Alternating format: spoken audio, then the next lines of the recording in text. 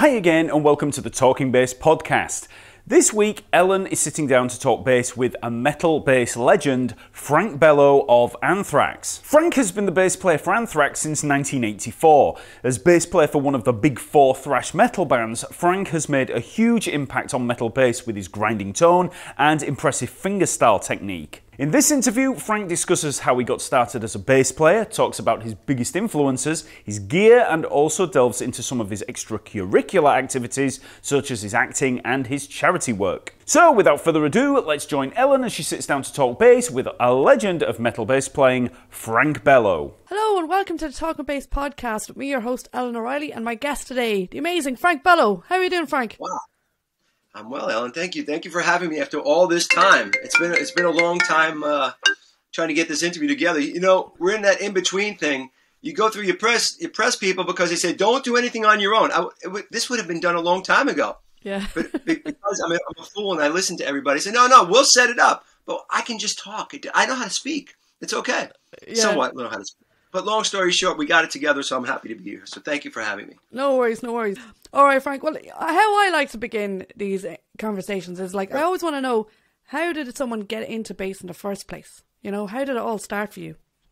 Great question. You know, um, for for me, I have a passion for bass from way back. Um, I was I originally started when I was what 13 years old um, that was a few years ago, you know, because I'm now I'm only 19, so it's it's pretty easy the way it works. But um, I, I, started when I was 13, um, and I was playing rhythm guitar, jamming with who is the drummer of Anthrax, Charlie Benante. We grew up, we're we're family, uh, we're related, so we grew up in the same house.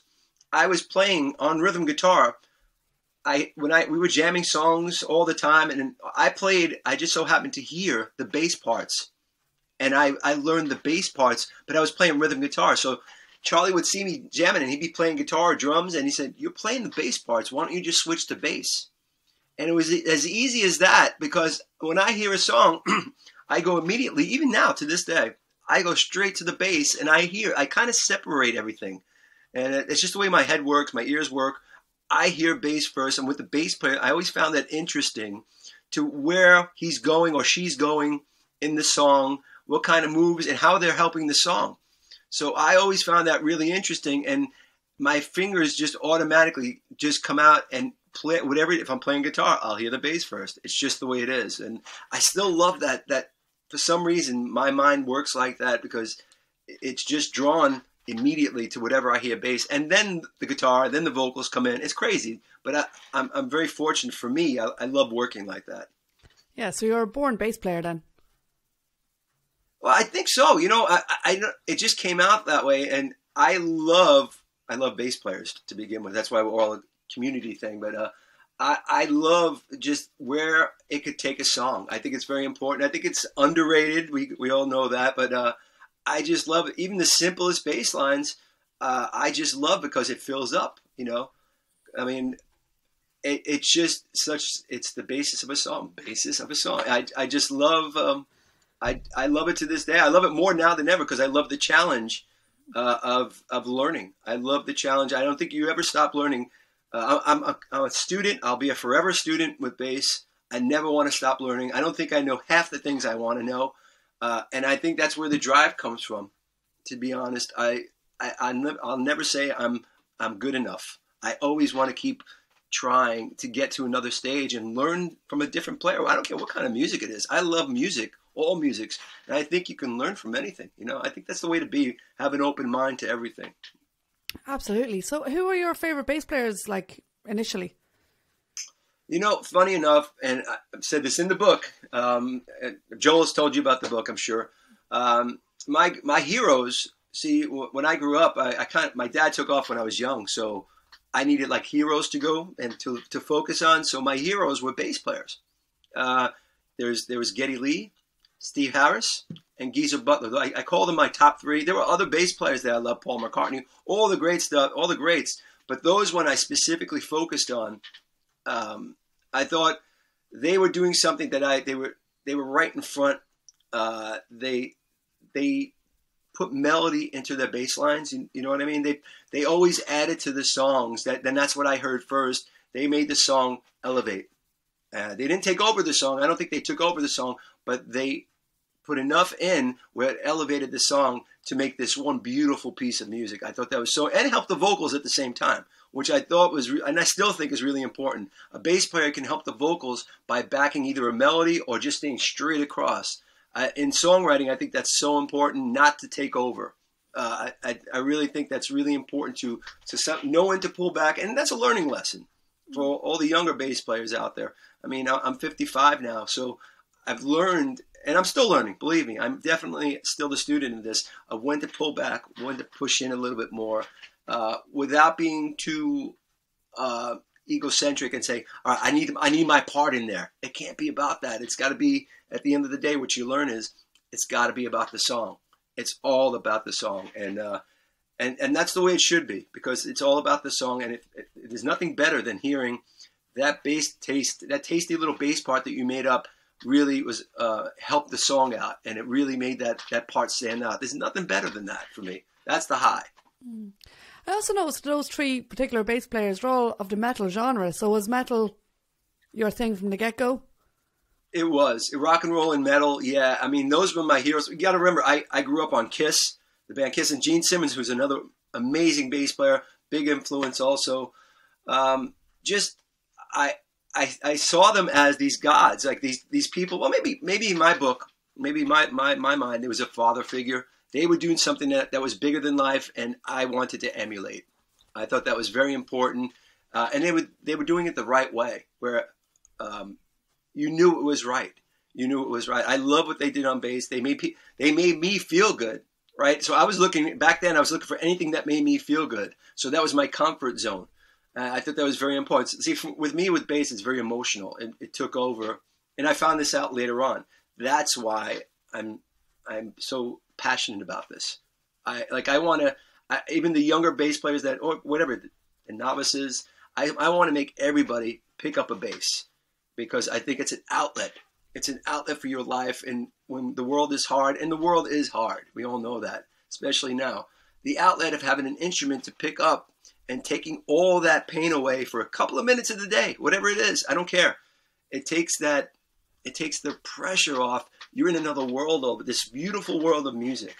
And you're able to put on a song, and maybe your favorite band, you can just jam along with your song, the song, and man, that takes you away. I think that's a very important outlet for people, kids, stressed out, all that stuff. If you could just hand them that outlet to have, I think it's so important for um, for them to have another day to move on to the next day.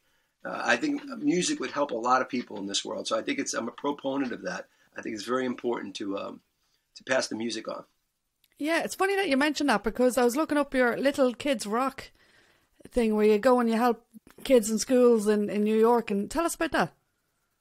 I've done a couple of them and a few of them, uh, and I've I've liked. Look, I grew up in the Bronx, New York you know, there wasn't a lot of, of music and stuff. And uh, I actually had a music class before they stopped everything, um, and which it was wonderful. I, I, played trombone, I played baritone. Uh, you know, that, that baritone thing. It was awesome. Uh, I can't remember any of it now, but that was still kind of bass. It was bass oriented, you know. So I was always feeling that. I, I and for me, I was that kid.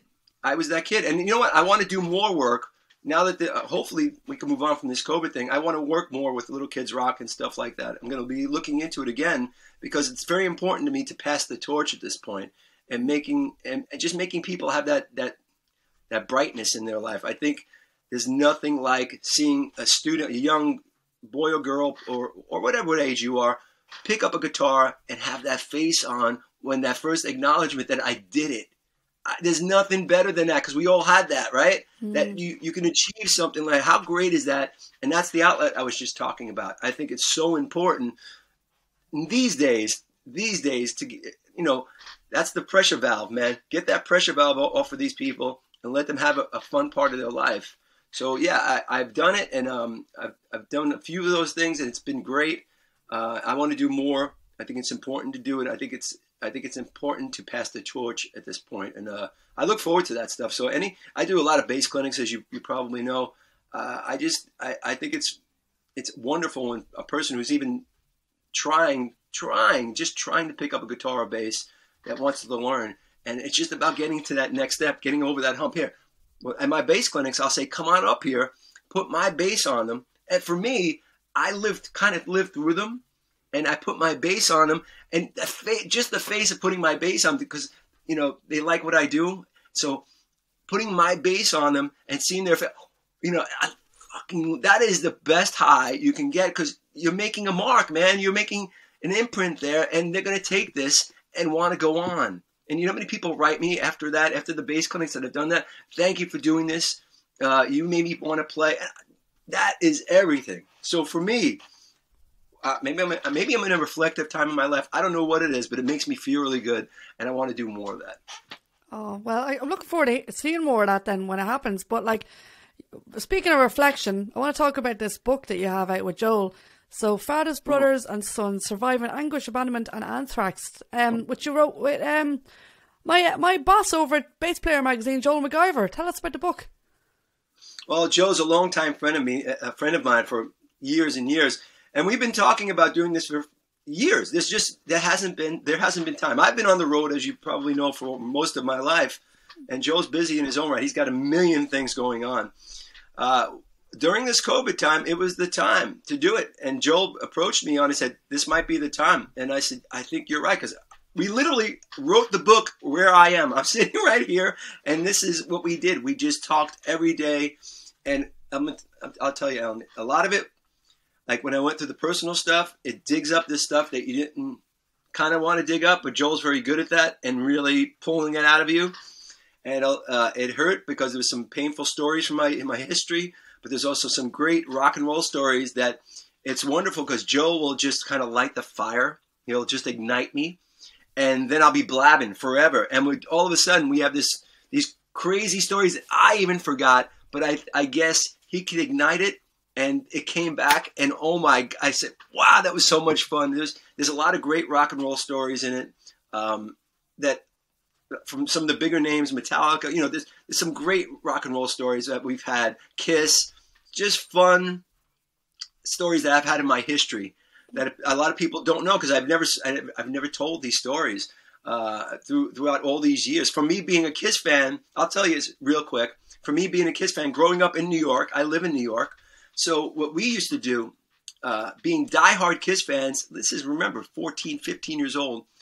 We knew their management was down in a certain area in Manhattan. We knew they were going to have meetings. We had inside info. My friend, my friend Tom, had inside information what when they were going to have a, a, a group meeting downtown at their management. So what we would do, my, me and my friends, a couple of them, especially my friend Tom, we would go downtown, wait in front of the management, and wait for Kiss to come so we can meet them. And it, it, this was a weekly thing. So at, after a while, we they knew us. After a while, the Kiss guys knew us. Oh, you what? How do you know? How do you always know when we're here? I remember Gene Simmons. How do you know we're always here? There's, there's something you know something. I don't know how you know we're getting here, but we're here and you're here all the time. I'm going to find out. And it's great over the history. Over the history, these guys have gotten to know us, and now as I'm in the band Anthrax, Gene remembers all these great times, and Gene Gene Simmons wrote the foreword to my book, which is a, a privilege and an honor um, to, to even fathom that in my mind that Gene wrote my an, an amazing foreword to my book. Uh, I'm so proud of it. Um, it's it's a notch for me. It, it it's just heartfelt, um, and it, it, it really came around. I'm, I'm I'm very very grateful. So, what is the writing process like then? How I mean, how did you do it? Like, the writing process is literally as we are talking right now. And then Joe Joe would pick my brain. Joe would pick my brain and like this, and it would be nonstop, just um, going back and forth. Then we would we review. He write it up and we review it, and then we just edit it. Mm. Edit it. What's what doesn't work, what, and that's the pro. That's the that's the process. That's a little bit problematic. It's it's a little bit it's a little bit tedious, but you want to get it right. Um, but as I've never done this before, but Joel made it made it easy for me, as easy as possible. It, it, get, it gets a little tedious, but you want to get the stories right, you want to get the people right, and you know, and you want to make it entertaining. And it is, for you know, I've read the I've read this book a, a lot. There's a lot a lot of times already, and I, I have to say I'm, I'm a nitpicker. I've nitpicked everything out that I think that didn't belong, and I, I just found it entertaining. It's hard to talk about yourself, but I kind of look at it as a fan, and I think there's there's so much that people didn't know about me and my life and the crazy things that happen. Um, and and just the whole anthrax. There's a lot of great anthrax stories that people don't know. Um, there's a lot of fun stuff, and aside from the the pain uh, that I've had with my family, I've had some pa- family tragedies that that have gone on that uh, people will read and find out about. Uh, uh my brother, unfortunately, at 23, was murdered. Uh, so we went through the, the, whole court system. It was very traumatic and, and very horrible for my family. Uh, so we, in the Bronx, New York, so we had to go through the courts of the Bronx, New York. And if, if you've never done that, I pray you never have to. Put it that way. Very painful stuff, and they've kind of dragged us through the mud. And uh, and I guess at the end of the day, what I try to convey to people here, uh, at the end of the day, you brush yourself off, and you you kind of try to rise to the top. So it's like uh, kind of like that. It's like that kind of vibe. Look, as much pain and, and sorrow you go through, what you have to do is take that next step and brush yourself off and if I can do it, you can certainly do it. That's in whatever whatever you've gone through. Mm, exactly. So so so people who have had a hard time can find some strength in your book as well. You know. The people who've read my book already, with in my little circle here, have all said that it's it's it, you can do this kind of book because Frank, if you if you did it, uh, anybody can do and and relate to it. They relate to it. You can put it into any any kind of painful thing in your past and what you have to do is take that next step and get out of it. And, as hard as it seems, look, if I can do it, then you can do it. And that's, uh, I don't want to say it's a self help book, but it's kind of like a self help book and, and the kind of music thing, you know, music vibe. So um, I've been very lucky to be a musician, very, uh, very, I mean, I've been very, um, very successful musician.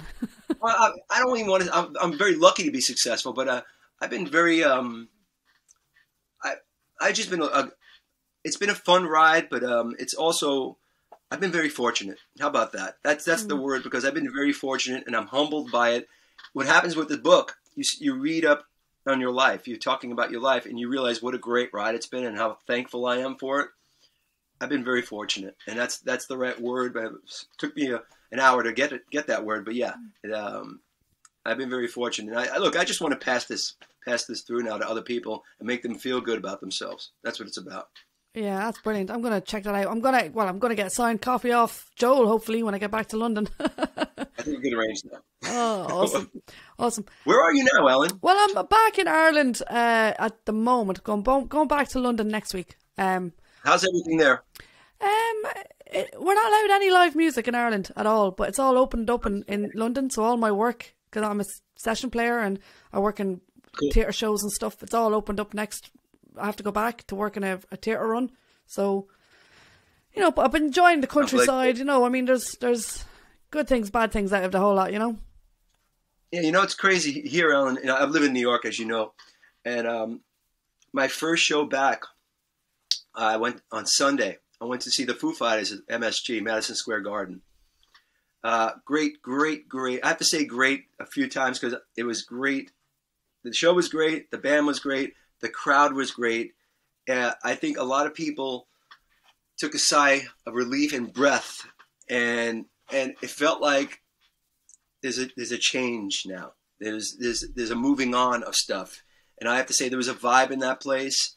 Uh, it's just because I was just happy to be a show at a show. I just wanted to relive what I love. Right? I want to I want to I want to get back into this and I thought the Foo Fighters, to their credit, did a great job of doing that. You know, um, I just enjoyed being at a show, uh, and and just I had had a drink in my hand, had a good buzz going. You know, I was I was just a genuine fan on Sunday, and I look forward to people doing that again all around the world, uh, Ireland, everywhere. Uh, it's just the next step you know, I think that I think it's right in front of us, and I hope it all happens sooner than later for all of us. But just don't give up hope. That's that. I guess that's that's what I'm trying to say because it's it's a tough situation, but I think you know we're going to get through it. Yeah, it's a, a particularly tough situation for us uh, performers. You know, I mean, a lot of people are all like, "Oh, we could do all this stuff on the internet and, and all that." Because I'm a comedian as well, and I'm like, I'm no interest in doing that. I, I want to be with an audience. You know what I mean? Or playing on a gig. You know what I mean? So how did you yeah. How did you survive it? Like, You know, it's weird, Ellen. I'm telling you the truth. It's really weird. I'm in this basement, right? I've done those. You probably have done those videos where you jam with other musicians and stuff, and they put it, they edit it all together, and it's it looks like a song. But you, meanwhile, you're still in your. I'm in my basement jamming alone. There's no crowd here or anything like that. I'm jamming to a song that's pre-recorded and all that stuff. There's no feedback like we, we love from the audience. You know that initial that that energy. Look, the reason why we play is because we love the energy from the audience, right? We we we want that thing. We want that that feedback. I, I don't think for me, the only reason why I love doing this is because I want to build an energy together with the audience. We're not playing at the audience, we're playing with the audience. So we all build one thing that gets us all feeling everybody, band and audience. It makes us get to this high. And that's the high we all look for. And how long? I mean, Anthrax, we've been together forever. This is the longest we've ever been without a show. It's the longest uh, in all our career, 40 years. We've never gone this long without a show, and for that taste. So I think um, next month is our first show back in Wisconsin. We're playing a some festival, and man, let me tell you, uh, not only do I have to get my ass in shape, you know, physically, you know, but uh, just playing wise, you know this, Ellen. When you play a gig, it's a different energy than playing it in your house or in the studio. The the adrenaline, everything else, it, it has to be matched. So I'm I'm actually working on that at home, but you know it won't be good because it won't be good enough because it's nothing like having one or two shows under your belt, right? Yeah, totally. It's just honest. It's just honest. You'll you'll do 110. You'll give 110 on that stage that night, but you'll want to be better, and you know you will be. You, you'll give it all, and uh, that's the idea. But uh, it always takes you a couple of shows to get back that you know that that vibe, you know. Mm. And there's nothing like a tour to just get your chops up. yeah, because you know, even if you screw up, whatever it is, even if you're not feeling it, you have that next night or the night after that to come back and correct it. Just like you're a stand-up comedian, you get it. Comedians, they, I love, I have total respect. I'm, a friend, I'm friends with a lot of great comedians. They say one bad night, one bad show, you have that next night. It really is important just to correct that and get that vibe in your head that everything's okay, mm-hmm. right? Yeah, absolutely. It's really similar. Well, you guys are celebrating your 40th anniversary now. It's weird. when you say that, as those words, as that number comes out of your mouth, I'm almost, it, almost as old as the band. wow. Wow. And imagine that. So I still don't understand how it went this fast, to be honest with you. Um, and I'm, look, I'm very, I'm humbled. I'm thankful that we've had this career. I, I'm saying all the right things, and that's the truth. That's how I feel. But if you ask me, I, I don't feel like it's been 40 years. It's a, I, I mean, obviously, I got in the band late. In the, um, I, I, think it's 38 years for me because the band started before me. But mm-hmm. I still don't feel like that because we've been on the road all our lives, and I just I remember the first album. I remember touring in the vans. I remember all everybody, the band and crew sleeping in one room with one shower. That whole thing, everybody taking turns in the shower and all that, and the, the smell of the room, all that great stuff that we love from the tours, right? And the, mm-hmm. and and the horrible smells that come out of a van with band and crew in it, all that great stuff that we you grow up on and, and really, you know, um, make you who you are. I miss all that, but I can't believe that was when you say that number, right? It just that that was yesterday. So cut to today. I feel like my band is hungrier. The guys in my band are hungrier now, specifically because we have another record that's going to come out next year. But after all this COVID stuff being held down like this, the anticipation, um, the, the, the angst, we all have angst. That's why I think after all this stuff is cleared, I think it's going to be a great thing for the music industry because people want to fucking see shows. Excuse my language. I don't know if I'm allowed to curse. You're allowed to curse. I'm Irish. It's okay. expected. Okay. Thank you. That and alcoholism. Um, so yeah, I, I think this is is great future ahead for all of us musicians because we've waited our time. And yeah, we have this pent up thing going on. We need to get it out. We and I, I can't wait to see all musicians get out there and all all music fans. I think it's going to be a great celebration. Um, I'm psyched because you know we're starting to see light. We're starting to see light at the end of the tunnel here for everybody in the world. You know, I hope. Mm, absolutely. I, hope it's all behind I was actually talking uh, about this to a, f- Oh, sorry. I was, I was actually talking about this with a friend of mine, and she was saying, you know what? Like, it's been a year and a half, a half of like, you know, normal, the normal people working from home, saving all their money, not being able to spend it. As soon as we all get the green light, we're all going to be up to our nads in gigs and comedy shows and theatre and everything. It's the only way, right? It's the natural progression now. We yeah, we've paid our dues, and the way I look at it, yeah, we've paid our dues. This is horrible. It's a horrible situation. A lot of people, unfortunately, have died. I've had my my two neighbors, uh, my neighbor Joe next to me, 49 years old, just had another kid, got COVID, passed away. He, healthy dude. I mean, healthy dude. I'm, I don't want to bum anybody out, but I'm just saying this is very real to me because it hit home. Four of my family members had it pretty bad. My neighbor across the street, uh, Tony, uh, love, lovely dude, construction dude, burly dude, right? 59 years old. He went into a coma from COVID in January. He came home two weeks ago. He made it. it a, it's a miracle. He made it. He was on the tubes and everything. He made it. He came home two weeks ago out of a coma. Lost 40 pounds. He's coming back to health now. But to me, this was all very, very real. It was right in front of me. Uh, it's it's it's just a very scary thing. So I, you know, I'm very cautious with all of it. I mean, that's why I've been in my basement for a year and a half. True, it's the truth. I've been. I, I have a family, you know. It's it's. I'm. I'm I just want to be cautious, and I just hope everybody stays healthy. That's all. I, I want. I want. I want everybody to rock another day. It's important. Absolutely, absolutely. So, as well as uh, writing the book this year, what else have you been doing up to in that basement of yours?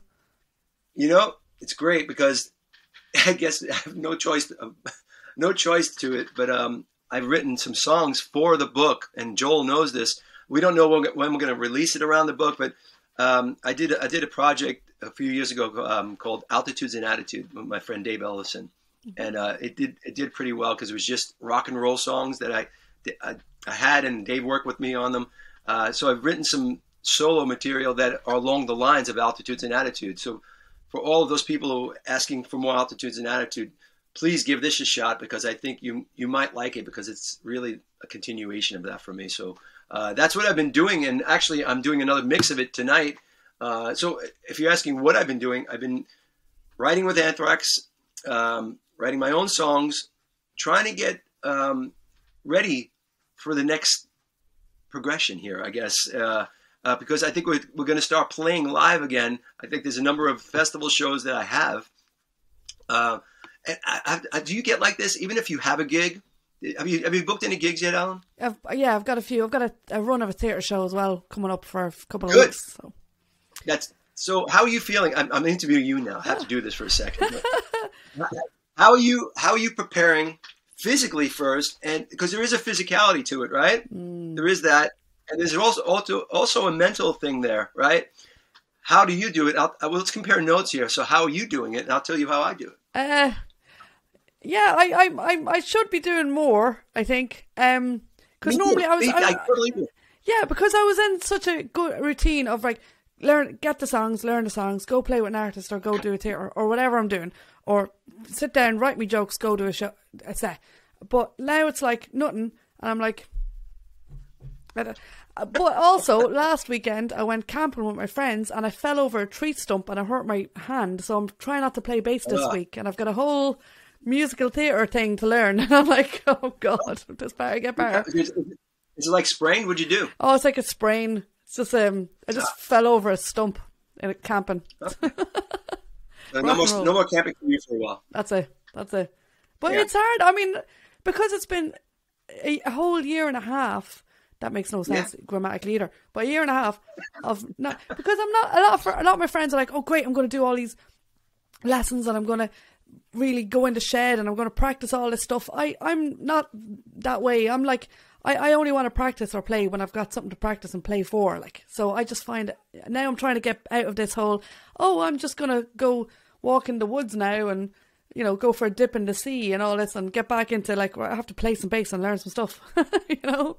It, it is that. And, you know, I agree with that because that's how I get. There are times where, look, you get, you get home when I get home from tour, I don't even touch a bass. Uh, I know this sounds horrible, but I just need to decompress. Yeah, I, from a long tour. If I'm on a six or seven week tour, no offense to bass players or any or any musicians out there, The last, I just want to see my family. I want to, I want to crack a beer.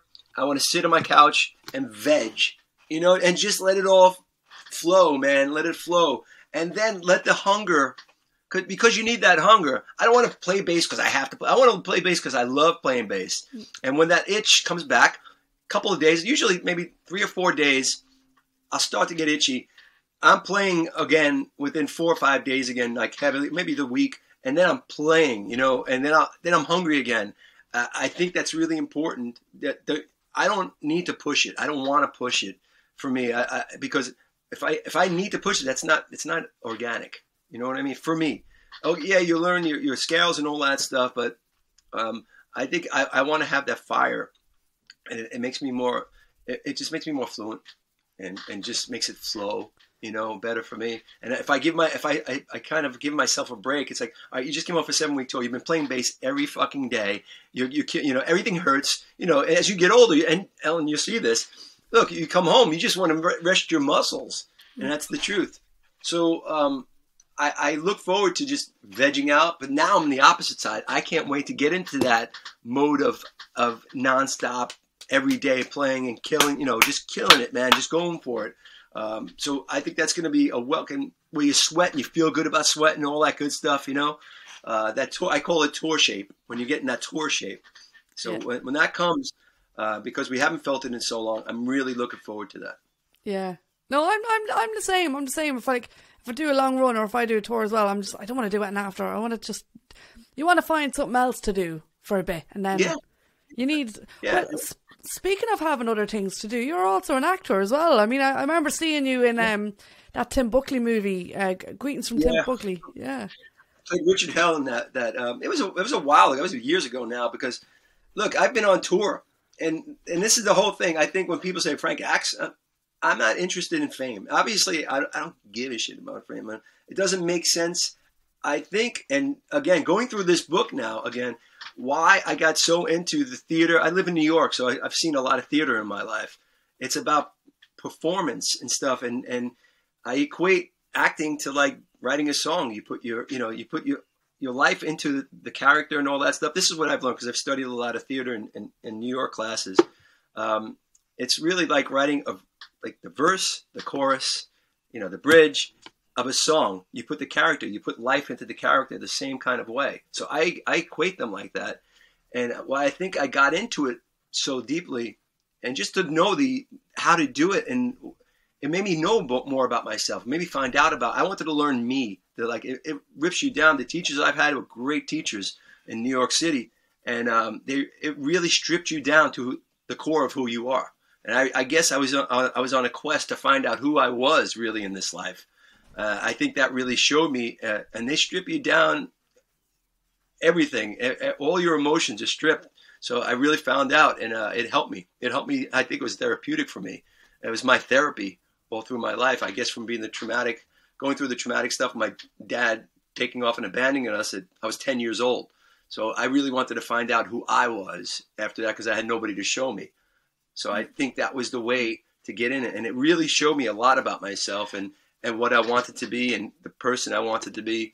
And it helped me in my music career because I also found out where I was coming from as a songwriter. I thought that was important. And um, it made me strive to be better that way. And I still love it. And to this day, I still audition. And if there's ever time to do stuff and if I get booked on something, it's great.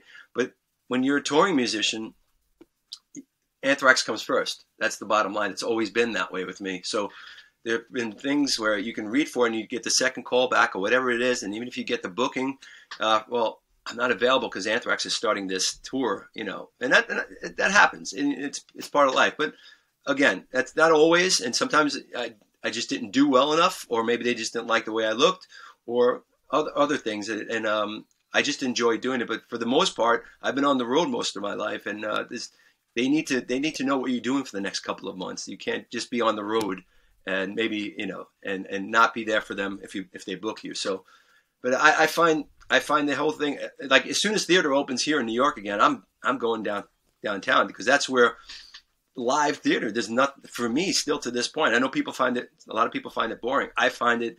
That's the ultimate edge. You're living on the edge of each word. I just find it fascinating. Live music and I, I equate those two. Theater and music. And you, you're a stand-up comedian, so you kind of get that how you live on the edge on the stage with the audience. I, I love that. I think there's there's such fucking it's just great. There's great power in that. Yeah. There's great power on both sides, from the audience to to whoever's on stage. I think this it's awesome. That's it. I play in a musical theatre show as well, where like we're we're on the stage with the um ca- cast, and I'm there watching the cast, and you know if I'm not, because the bass lines are all over the place, because it's all Awesome. You know musical theatre is all right. gonna- It's right, mad time signatures, mad key signatures, and mad changes, and uh, you're just all on the edge. But there's the odd song where it's just piano and vocals or something, and I just get to sit there and watch, and I'm totally sucked in. You know, it's it's amazing, like brilliant. You know, you know, you hear the show called, and we're talking theater now. Yeah, Rent. You've heard Rent, right? The, the Yeah. musical. Um, well, the, the original lead, Adam Pascal. His name is Adam Pascal. He's an amazing singer, amazing actor, and all that. He's, he's a musician. He's also a bass player. Adam Pascal. I'm actually having drinks with him this week in the city. So um, when when I first met Adam, he was doing Rent, uh, and I watched him, and I became a fan of his before I knew him, and I just watched him. So now, as I've become friends with him, I've asked him all these questions about that feeling because how are you coming from the bass player's world and stuff like that? He's he's he's an amazing singer, but he's also a rock guy too.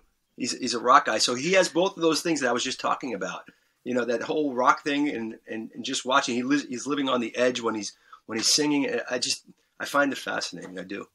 Yeah, there is something weird going on there, isn't there? Like between you see an awful lot of crossing of all these different arts. You know, um, actors becoming musicians, or musicians becoming actors, or or comedians becoming actors, and all it's it's kind of like there, there must be Yeah. something related.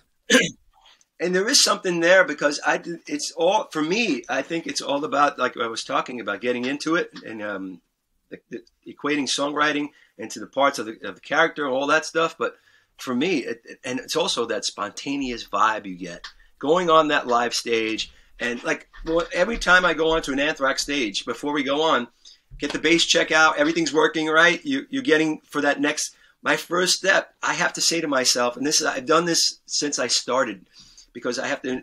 I say I wa- always want to make it better than the last time. And I, and I my first step onto the stage, I, as I'm stepping, I say to, to to to myself, watch this. I want to impress myself because I have to give 110. I got to leave it. I got to feel exhausted.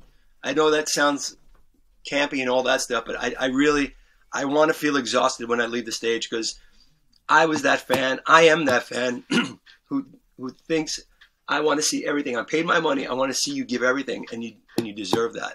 And that's to this day. I think you have to put that out there. It's- So when I take a step on the stage, I'm gonna be. I, I want to be broken down. I want to feel like the high and exhausted. I want to feel high. That's the whole thing. I want to feel the high there, right there, and just feel exhausted when I come off the stage. Because then I think I've done it. I've done my job for that night, and hopefully people will get their money's worth. I think, and have a great time and leave with a good feeling. You know, that's the idea. Yeah. Yeah, it's definitely. I, I, I remember seeing a different interview before uh, when you were talking about the acting, and it was like um, it's it's a going from a musician to an actor. It's an extension of performance. It is. It's all about performance. It's it's that high. It's again. It's the acclamation you're getting from you know. It's it's that vibe. You hit a funny line in a theater. you have a you have a funny line, and you hear that crowd. You know, it's like, all right, and you, and you, you absorb it. You absorb it. You play a song on the stage as a, as a musician. The crowd is going crazy. You absorb it. It's like we all need this. Like I, you, you need it. I need it. Fans need it too. It's the same thing. I think we all, because I'm a fan, I need that. I need to hear that. You know, I need the, the acknowledgement of it all. I think it's very important. To, even I was watching the Foo Fighters. I was, you know, I was loving it, man. The other night, it was just, it felt good to be back at a show. But I'm a fan, man, and I just, it doesn't matter who's there or who's not there. I'm to enjoy this part, and I, I just want to let it know. Yeah, I want to do yeah, because that's my high, right? It's my time to be like that. Even if I'm sitting in the seat or or standing and, and just waving it on, yeah, that's that's the acknowledgement that we. It made us feel good. It's it makes us feel good. How about that? Yeah. That's the line. It makes us feel good on both sides of it, audience and musician. I think it it makes us feel good. It's great to see um, um, a musician such a so successful as yourself, and you know with this huge career behind you, like to to still have that, you know, that fan vibe, to still to still to not be all jaded by the, industry or any of that crack. You know what I mean? Believe me, I'm, I'm I hate the business of, music. I love music, but the business side of it is horrible. I mean, is there a music business anymore? Right? I mean, mm-hmm. business wise, with, with all the craziness. I love the fact that we've kept. Fans, the fans, and the musicians have kept this thing going, even though kind of like the, the whole business side of it went crazy, right? It went it went crazy. So we were still keeping it alive, and I love that. I I love that, and it's something to be celebrated. And uh, for me, I I just want to do more. I want to build this thing up. I want to. Music has done a lot for my life. Not only yeah, it it supports my family and all that great stuff, but deeper than that, deeper than that, music has really, I think, because of the abandonment issues I have and all that stuff, it filled, it fills a void. It mm-hmm. fills a void that I didn't have. And I was searching when I was 10 years old, whatever, you want to call it, father figure, whatever that is, it filled that hole and it, it made it better. It was like a band aid that, all right, you can, you can take the next step, Frank, in your life, whatever that is. So you'll see that in the book. And for me, it means everything. So I want to pay back now. My my thing is now it's been so good to me. I want other people who are maybe having a bad time in their life. I want them to feel that feeling of goodness. This is something. This something that music does to you. That can you know it can heal you. It can it can make you feel better. And it's it's really important that people know that. Yeah, that's that's great. I totally agree with that. Totally. Yeah. It's it's like you know. It's just honest. It's your it's your friend to turn to when no one else understands, kind of thing. It'll always be there. It'll always be there. There's nothing. There's nothing better if you're having a shit day, right? Mm. You, you put your headphones on. You don't have to play, even if you don't play. I what I do if I have a shit day, I'll go. I'll go jam a Rush song or something. You know what I mean? I'll go. You know, and I'll I'll just get it, and that'll get me to the other place, right? It'll get me for a few minutes. It'll get that angst out of me. Fuck, I'm pissed off at something. Blah blah blah. At a shit day, you know, whatever. I'll pick it up, or I'll just put the headphones on and whatever the hell it is. I mean, if, if I told you some of the music I listened to to this day that got me through a lot when I was young, you would laugh. But it was still music to me. It meant a lot. I think everybody has that. Everybody has music that's personal to them, and you know, I say some of that in the book too. But uh, I, I just I'm very grateful to music, and I, you know, I'm 55 now. I have no intention of slowing down with music. It is, if anything, why? Why would you slow down? People say you're getting older. I can give a shit. I'm, I'm hungrier now than ever. Why? What, what are we going to do? Stop and die? no, there's enough dying around. I want. I want to enjoy this ride. I want to. I'm going to feel. I'm going to finish it until I can't finish it, uh, until it's done. And that. That's just the way I look at it, man. It's just a, it's a great ride to be on and stay on stay on it, man. It's just a. I don't care how old you get. You can play. I want to play when I'm well into my uh, my senior years. The hell with that. I never want. Who wants to stop playing? If we're fortunate enough to learn an instrument and you know, there's no reason to stop playing ever. I want to I want to try that. I want to write that new song that people that makes people feel better and and or whatever gets gets that angst out of people. I want to do that. I, am always searching for that, and that's what it is. It's a quest. This damn thing's a quest, and and uh, I I look forward to the next step in that. I think it's important to keep keep that hunger, man. Yeah, absolutely. Well, you don't look 55 uh, whatsoever. Like, oh, thanks. Yeah, you know what it is? I feel it. you know what it is? I'm a, I'm a yoga guy, and when you're home and you can't be, my, my, my yoga teacher's like, a, and I sound like a, you know, Frank's at the yoga. No, it keeps me limber because you can't, as you get older, the muscles just don't work, work the way you want them to. I learned through yoga, it elongates your muscles. It helps my back out, which all the stages I've been through all, over these years have destroyed my back. So I have a great yoga teacher teacher that really takes me apart and gets to those part, parts and stretches me out and knows knows the moves to make me go. So uh, I haven't been able to go because of this, because this, the class has been shut down. But uh, I've, I've heard that they're recently opening again, which is kind of awesome. So I'm looking forward to that's the next getting shape, get my fat ass into shape, you know, and uh, and it's time to move on, right? Yeah, Joel's a big yoga fan as well. He, he was messaging me saying, "You got to get into yoga. It's great." And I, I have done. It's brilliant it, you know what it is? It's you have to stay with it. It's it's also good because I, I, have a screw loose in my brain, obviously, and it keeps my brain kind of straight and uh, you know the whole yoga thing, and it makes me relax. And I'm a high end individual. I don't know if you could tell that or not. I'm a high end individual, so it actually takes it down a notch, which which is something I need in life. What do you mean? You know? What do you mean by high end? High energy? High energy, high end. Um, uh, there's a lot of verve going on here, you know. and you would think that you, I, I think I've calmed down a little bit as I've gotten older, but and, and I think things out more, which is good. But uh, as my wife has said before, um, you need to take it down a notch. And then the yoga thing, she notices when I haven't been to yoga class in a while because I'm right back. And uh, I guess it's cool because I use that for the stage, and that's what's great about the stage. I can get it all out. I can get it all out on the stage, so it, it really helps me get everything out there and, and make and make it better afterwards. So it's uh, that's why I'm looking forward to even to one show next next month. This I think we have eight or nine shows this year, like all festivals and stuff, and then the proper touring. Hopefully, hopefully, uh, depending on the world, um, we'll, we'll we'll start for, for us next year and with the record and all that good stuff. Yeah. It, oh no. It that will it'll all come back, and people will be crazier for it than ever before. Like I mean, I know for if I'm not playing a festival, I'll be at them. you know. Right. That's that's my point. Is like, uh, look, I think everybody wants this, right? Everybody wants it, and whatever you believe, you believe. But what I believe is that we all need music. That's why I, you know, I don't care about anything else. I just, I just know I want to play and I, I want to see shows and I'll go out to shows. I think it's going to be for for people going out. I think it's going to be bigger than ever to go out to a show. And and so it's so. And if anything, I think we've all learned how important live music is, which is all, which is great for all of us, fans and musicians. How important that feeling of, of seeing a live show, like the other day when I was there at the Foo Fighters, I, it just made me feel, oh, man, this is what it's all about. It's just yelling for this song or whatever, making you feel that, oh, yeah, get whatever the hell came out, came out of me. Mm-hmm. And it, it just felt so good. I had a couple of vodkas. I was feeling, you know, I was doing the whole game. I was in Madison Square Garden. I don't know, did I tell Joel this? I live in New York, so it's it's a little more expensive here, as you as you can tell.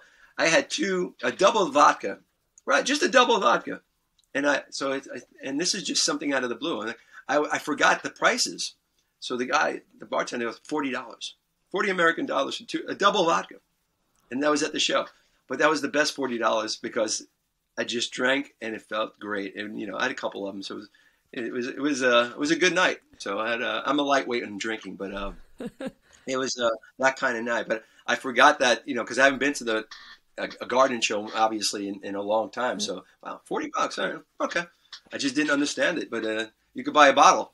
you could buy a bottle, forty bucks. So it's like, but that's um, that's uh, Frank being Frank. It is what it is. So, um, you know, are you missing uh, doing the bass clinics and going to shows like NAMM and stuff like that? I'm missing everything. I'm missing. You know, know what's great about clinics? Uh, when when you can, I love the fact when um, a lot of people come to my clinics like that that are either afraid to take that step and dip their water into, uh, dip their toe into the water, uh, uh, of of trying it, of picking it up, of of just they they. And I was that kid. I was that kid too because I was like this from when I was younger. You know, and, and I've been to some bass clinics before where, and I'm not comparing anything, but I try not to. But I don't want to be intimidated out of playing. You know, if you can understand that, like you see a lot of great bass players just doing a lot of scales and kind of going over people's heads. Uh, I'm a meat and potatoes kind of guy. Like I, I wasn't classically trained or anything like that. I learned. I'm an ear player. I learned how to play through my ear.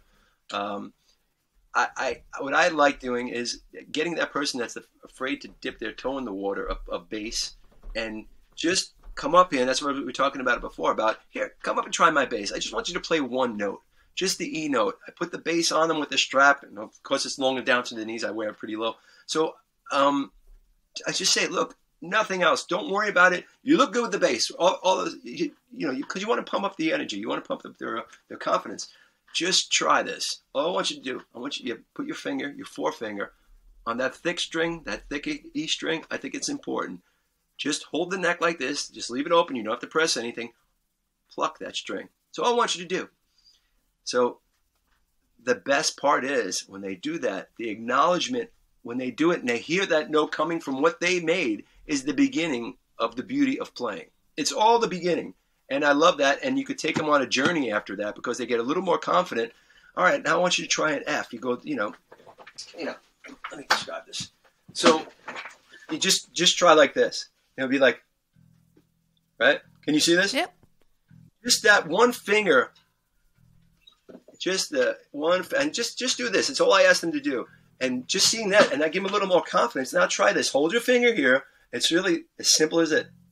That's an F. Here we go, right? And you go up the scale, and then you see the confidence build. And isn't that everything? Isn't that where we all live, Mm. right? I mean, you could do any scale you want. You can do it, whatever for players out there, great. But it's still all about the beginning of that love and that finding finding that way. Wow, that's the that's the entry gate right there. We're entering this world of music. So I love doing that. That's my favorite part about clinics, doing that. And then and then just people coming up and want to learn Anthrax riffs that I've done, bass riffs. There's nothing more complimentary than that hmm. for me. So when they they like something I've done, I, I, I'm humbled by that. Thank you. Please come up here. I'm going to show you firsthand. I think that's really important. So it's it's it's just a, a fun way of doing it where we could all learn something. I'm learning something from you. I'm learning that you you're learning the new stuff, and I'm learning how you're playing now. I'm learning how your technique is going to be. I think that's because everybody's got their own technique, right? Even if you try that one finger, I, I, I love that. I think that's very for me. It's very entertaining just in and just watching somebody open up their their world. It really is. So I I, I just think it's very important. So I know I can go on about it, and I don't mean to, but I, I just I just think it's uh it's it's very cool when you could pass the torch, but something that's been so good to you, and you can pass it over to somebody, and maybe they're going to take it and make their life better, and you know, mm. onward and onward with other people. It's it's important. Yeah, it's also scary the amount of power like a teacher can have. You know, when you're when you're learning an instrument because because it is such a confidence based thing. Like if if you're start if, if someone doesn't encourage you or support you and say okay that's great but try this rather than say you're shit give up. You know what I mean? It, it makes such a Oof. I can difference. never, I can never, and that's what I was talking about before. You know, you got to be really careful with with these clinics and stuff. There's there's a lot of great teachers out there that do clinics, but I've seen some clinics that I won't name any people, but they were just talking over my head. And this was, you know, before I played more, I was just intimidated. I was like, you know, wait, wait, I, I that's too fast for me. I can't, I can never do that. You know, never say I should have. I, I never want to say I, I, I, I can't. I, that's not my vocabulary. I want to try, but take me through it. And that's that's where I think I learned slow it down, slow it down, baby steps. Because and there's players that will understand it. Most people will understand how you're taking these new players into it and making them part of the club. I want to make people part of this club. That's the whole idea. We've been very fortunate to be part of this club, and I, I think it's it's so cool when they they come to the next clinic and they're in their own groove, right? They're in. They said, "You taught me this," and so I just I started on my own. I started learning, and and they're, they're playing this great bass stuff. It's like right there. That's it. That's what it's about. And you just you just inspired somebody to have this outlet. Again, it goes back to the outlet of of bass and music in their life. Come on, man. And therefore, if they're having a shitty day, come on, you, you, you go play. And all of a sudden, it's not so shitty, is it? So. I think it's uh, I don't know. It, for me, it all makes sense. It, I'm not Mr. Goody Two Shoes, but in my life, it made a big deal to me, and um, I just believe in paying back. You know. But I want to know about your your your gear. Like, what what gear do you use? You've got yeah, signature ESPs and all that. Um, I have my ESP basses. Yeah, I have, and uh, my Hartke amps. I love Hartke. Uh, have you ever tried Hartke? Yeah, cool. I think they're an underrated company that is really, really. Uh, they they're with me all around the world. I, ha- I have to say, uh, they don't let me down. Uh, we we we tour uh, quite extensively, and uh, they're pretty. Uh, look, I rarely have unless somebody drops a drink in the damn thing. You know, somebody puts you know you're at a gig and somebody puts their beer Oh, on top that. of your amp. They're not, it says don't put in no drinks, all that stuff right there. Guy's hanging out, lighting a cigarette, puts his beer down. Right? Guess what? Goes into Frankie's amp. You're done. That rarely happens. We don't want that to happen. But um, yeah, it, they they stay. They're consistent. It's it's for me. It's plug in and go. I have a little SansAmp. You know, my still old school SansAmp for the for the edge of it all uh, that I still use in the studio. I love that they're they're they're actually my sound. Let's face it. You know, you you what you hear in your head.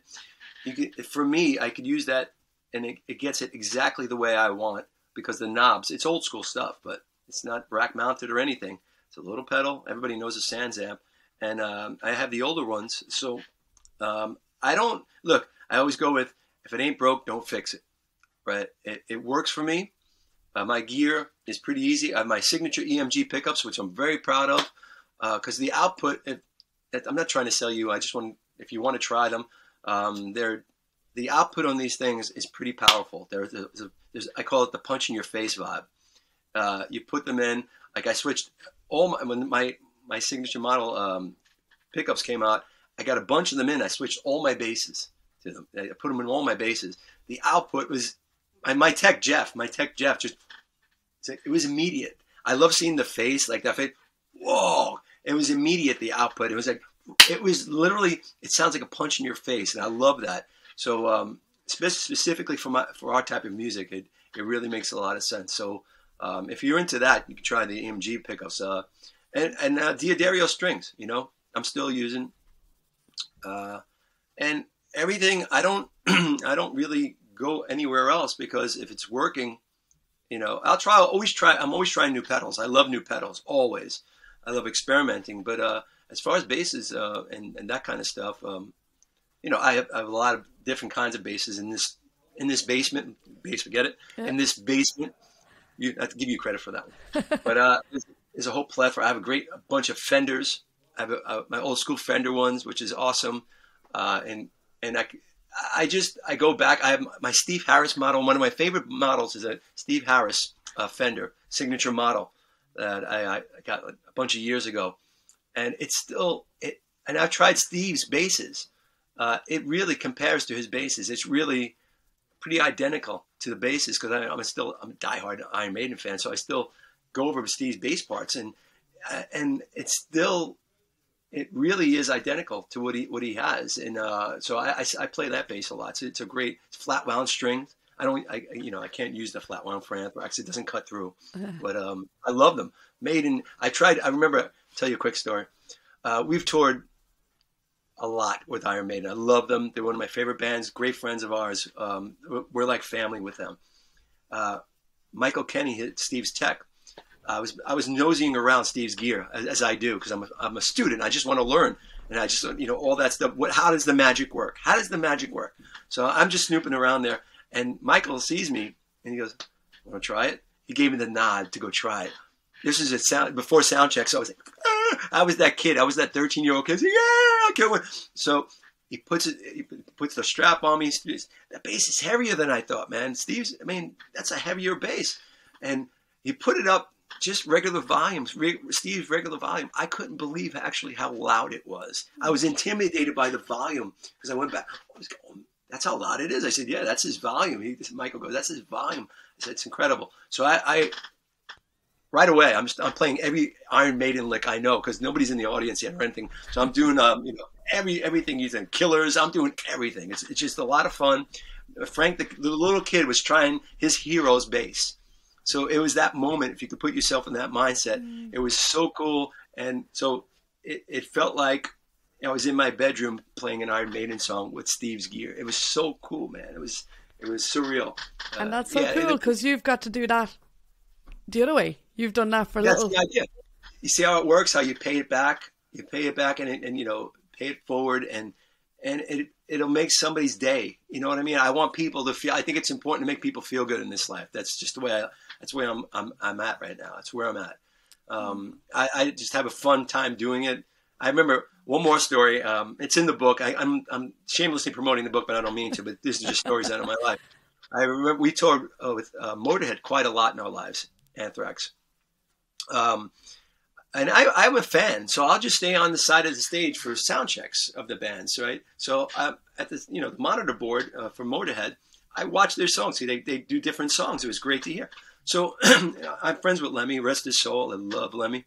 So I'm watching him, and I'm just watching the way he picks. I'm just trying to learn from you know the masters. I want to learn the right way to do this, right? And I'm watching it, and I see him. His picks up there on on the stand, but he's playing with a different pick, right?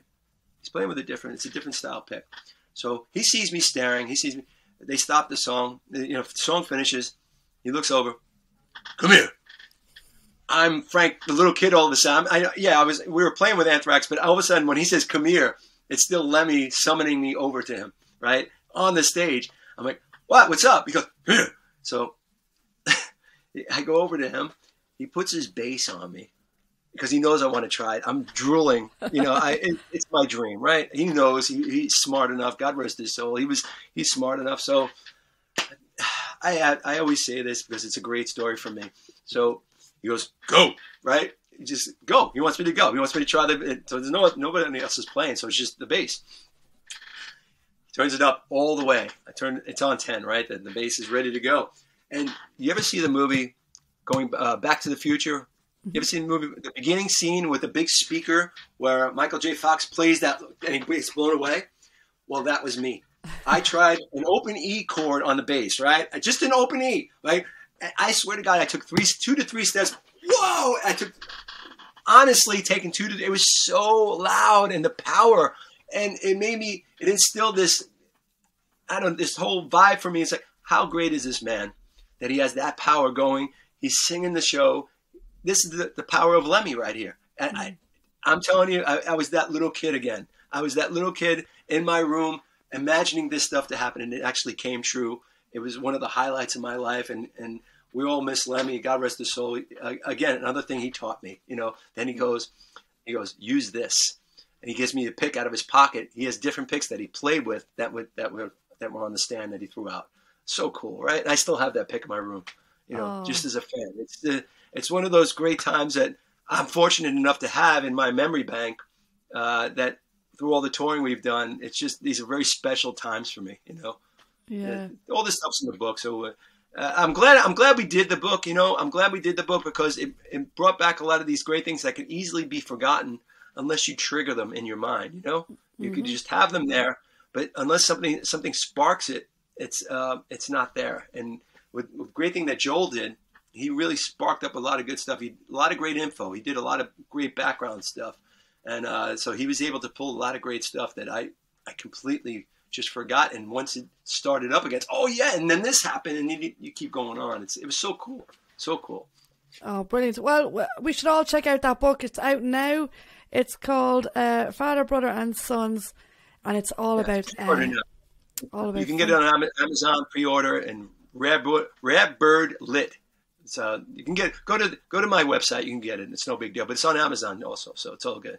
Exactly. And check out what's happening new with Anthrax at anthrax.com. All right, Frank, thanks so much for being with us today. Ellen, this went fast. Thanks. I, I had a great time with you.